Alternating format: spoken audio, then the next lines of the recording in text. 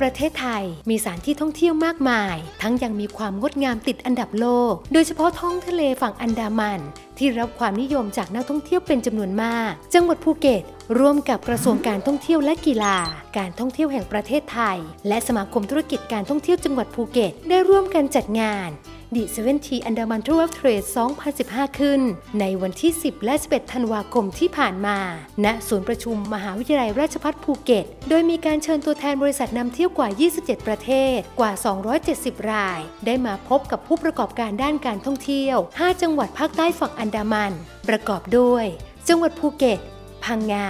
กระบี่ ระนอง และตรัง ภายใต้คำขวัญที่ว่า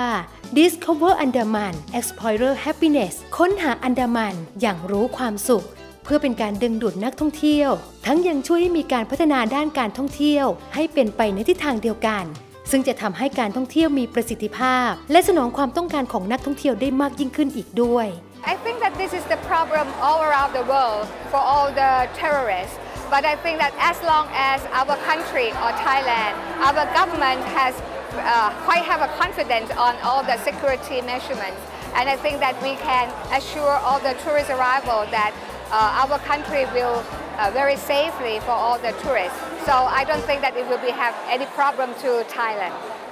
For the Andaman province, normally uh, the world know as uh, Phuket is the uh, super magnet. So we, uh, the five provinces uh, along the uh, Andaman coast, we have idea to promote not only Phuket but the whole Andaman, choosing the, uh, the tourist attraction for each provinces to promote it to be like a Andaman cluster. I have to mention that the existing building we use for both international and domestic.